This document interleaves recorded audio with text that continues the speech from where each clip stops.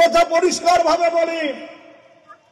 যারা আলাদা রাজ্যের দাবি করবেন, যদি হিম্মত থাকে, যদি ক্ষমতা থাকে, কুচবিহার জেলা জেলায় কোথাও মিছিল করে আলাদা রাজ্যের দাবি জানাবেন, হাঁটু আস্ত নিয়ে বাড়ি ফিরতে পারবেন না। আপনি থাকবেন এখানে আর আলাদা রাজ্যের দাবি করবেন।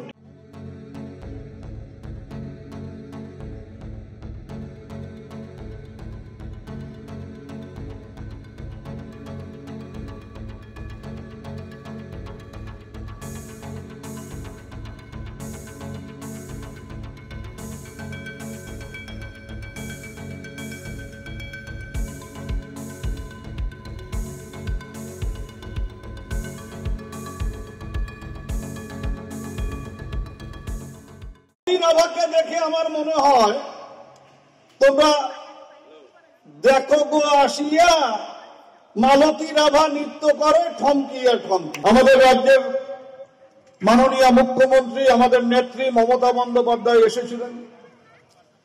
তিনি সার্কিট হাউসে বসে আমাদের সাথে আলোচনা করেছিলেন যে তুফানগঞ্জের দায়িত্বে কে আছেন। আমাদের দায়িত্ব দিয়েছেন তুফানগঞ্জকে দেখবার জন্য, কারণ তিনি চান যে এই বারোটি আসনেই যাতে আমরা জয়ী হই। কেন?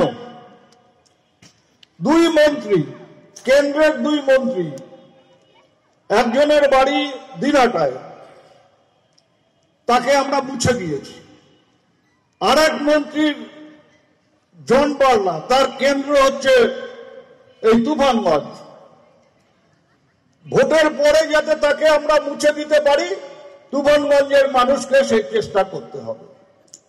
এই দুই মন্ত্রী,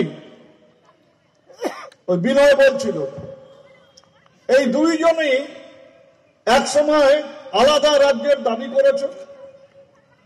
বিজেপির রাজ্যের নেতারা বলেছেন যে আমরা আলাদা রাজ্য সমর্থন করি না। মুখে বলেছেন আলাদা রাজ্য সমর্থন করি না। কিন্তু কার্যক্ষেত্রে কি দেখা গেল? যে দুজন এমপি, তারা আলাদা রাজ্যের দাবি করলেন কুচবিহারের নিশীত প্রামাণিক আর আলিপুর অর্থাৎ তুফানগঞ্জের জন বাড়লা তাদের দুজনকে নরেন্দ্র মোদী মন্ত্রী করে দিয়ে পুরস্কৃত করলেন। তাদের তলে তলে তাদের সমর্থন করলেন আলাদা রাজ্যের দাবি। যারা করেছেন, তাদেরকে পুরস্কৃত করে সমর্থন করা হলো। চলে গেল আমাদের নেত্রী। তার আগে সাহস পেল না।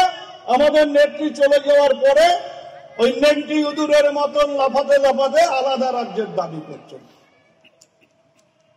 কথা পরিষ্কার ভাবে বলি, যারা আলাদা রাজ্যের দাবি করবেন, যদি হিম্মত থাকে, যদি ক্ষমতা থাকে, কুচবিহার জেলা জেলায় কোথাও মিছিল করে আলাদা রাজ্যের দাবি জানাবেন, হাঁটু আস্ত নিয়ে বাড়ি ফিরতে পারবেন না। আপনি থাকবেন এখানে আর আলাদা রাজ্যের দাবি করবেন।